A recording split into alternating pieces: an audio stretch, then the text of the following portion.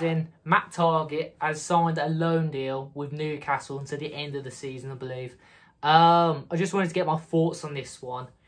Um, it sort of makes sense to me. It sort of makes sense. Um, it's he, he's not going to get in front of Lucas Digne, in my opinion. He's, he can't get in front of him.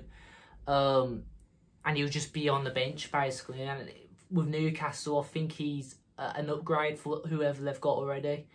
He's got to be, I mean, they're in the relegation, so whoever who is now, he's obviously going to be taking their place, which is fair enough. He needs game time because I know he is a good player.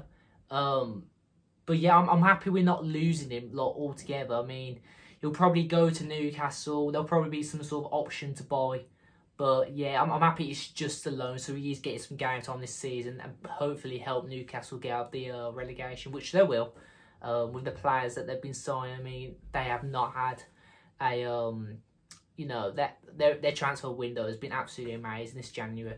Um, spending around, I think it's over seventy million already. It's just mental. But yeah, um, oh, I'm sad to see him go, but then again, there's so much quality in this Villa team. It's just hard for people like Matt Targett to get in.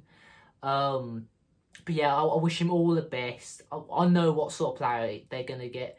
He's he's a player that was you know typically man of the match for most of last season for us. Um, and you know he's got a few goals in him as well. I mean he's already scored for us this season against uh, Crystal Palace. So yeah, fair play to him.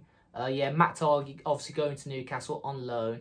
And uh, also, there is reports that Jed Steer will be going on loan to Luton, which I think is actually really good, um, as he's not getting any game time with us. But I do believe he probably will with Luton. I'm not too sure who who's in goal for him, but yeah, he's he's quality as well. So yeah, thanks for watching, guys. And yeah, up the Villa with the Pride of Villa. We'll see you in the next video.